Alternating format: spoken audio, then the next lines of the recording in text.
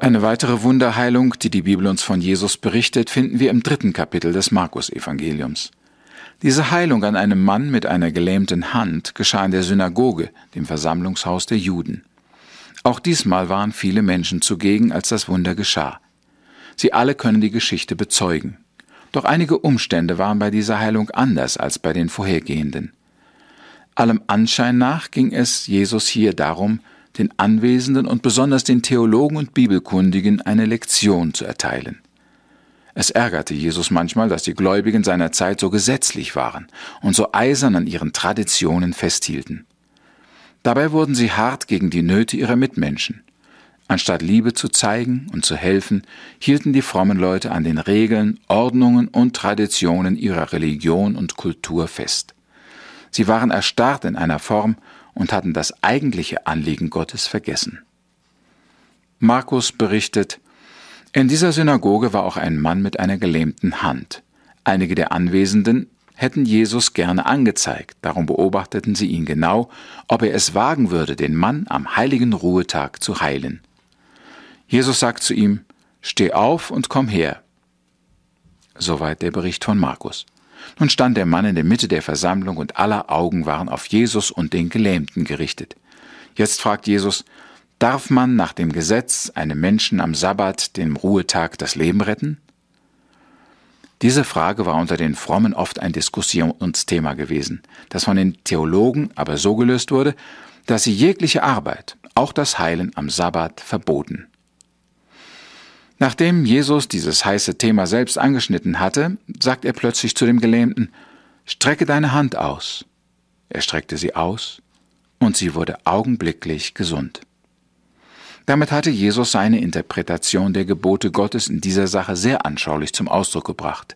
Jetzt wussten alle, dass Jesus und Gott die Gesundheit und das Heil eines Menschen wichtiger war als die Einhaltung der Sabbatruhe. An diesem Bericht fällt uns Folgendes auf. Erstens, der Kranke war bei dieser ganzen Geschichte ziemlich unbeteiligt. Er war nicht zu Jesus gekommen, hatte auch nicht um einen Gefallen gebeten. Er stand einfach da in der Versammlung, als Jesus ihn zu sich rief. Wir wissen nicht einmal, ob der Mann überhaupt an Jesus glaubte, ob er zweifelte oder ob er sogar ein Gegner Jesu war. Daraus können wir ableiten, dass es nicht unbedingt der Glaube ist, der kranke Menschen gesund macht, nicht ihre Bitten und Flehen oder ihre Bemühungen, sondern einzig und allein das Machtwort Jesu. Zweitens, der Mann mit der gelähmten Hand gehorchte Jesus. Als der Herr sagte, Steh auf und komm her, da folgte der Mann. Jesus hatte Autorität, und das war dem Kranken sicher sofort klar. Deshalb tat er, was Jesus sagte. Hätte er sich auch weigern können? Ich glaube schon, denn jeder Mensch hat seinen freien Willen. Er kann Jesus gehorchen oder er kann es bleiben lassen. Drittens, nachdem Jesus den Versammelten die Frage gestellt hatte, ob man am Sabbat auch Gutes tun dürfe, sagte er zu dem Mann, Streck deine Hand aus. Das war nun etwas peinlich für den Mann.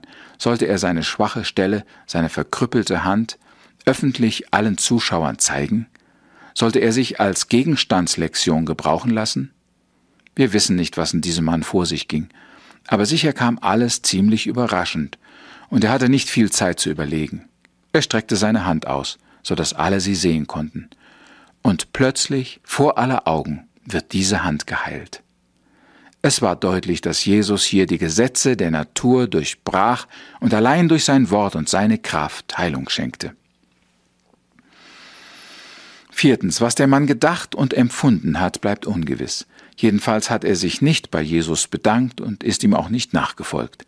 Sicher hat er sich hinterher gefreut, dass er seine gelähmte Hand jetzt wieder gebrauchen konnte, aber nicht einer von den Anwesenden, nicht einmal der Geheilte, haben irgendeine positive, freudige, dankbare Reaktion gezeigt. Im Gegenteil, die meisten Gottesdienstbesucher schienen empört und ärgerlich über Jesu Handlungsweise gewesen zu sein. Darum denke ich, dass es Jesus bei diesen Wundern und Heilungen gar nicht darum ging, selber verehrt zu werden. Seine Werke waren manchmal einfach eine Lektion für seine Zeitgenossen und für alle, die ihm nicht glauben wollten. Fünftens. Die Handlungsweise Jesu war einesteils eine Lehre für die Hüter der Tradition und der Gesetze, dass sie mehr Menschlichkeit zeigen sollten. Zum anderen war die Tat Jesu ein Anschauungsunterricht, wie wahrhaftiger Gottesdienst auszusehen hatte, nämlich Liebe zu üben und den Bedürftigen zu helfen. Sechstens, Jesus hatte bestimmt Mitleid mit dem verkrüppelten Mann. Er sah ihn sofort in der Menschenmenge. Und ich bin sicher, er wollte auch dem Kranken helfen. Jesus sah die hilfbedürftigen Menschen, er liebte sie und er wollte ihr Bestes. Das hat er bei vielen Gelegenheiten immer wieder bewiesen. Auch wir dürfen damit rechnen, dass Jesus unser Leid sieht und dass er uns helfen möchte, selbst wenn manchmal die Motive für sein Handeln von Konflikten und Konfrontationen mit seinen Feinden überschattet werden. Und wünschen wir nicht alle, dass Jesus zu uns käme und uns ohne vorher zu fragen und zu examinieren, uns einfach so von allen unseren Belastungen und Behinderungen heilen würde? Wir beten noch. Herr Jesus, wir wissen, dass du uns liebst und es gut mit uns meinst. Du weißt um unsere Rückhalte, Verklemmungen und Befürchtungen. Wir danken dir, dass du auch den Schüchternen, den Zurückhaltenden und den Ängstlichen anrühren und befreien kannst. Amen.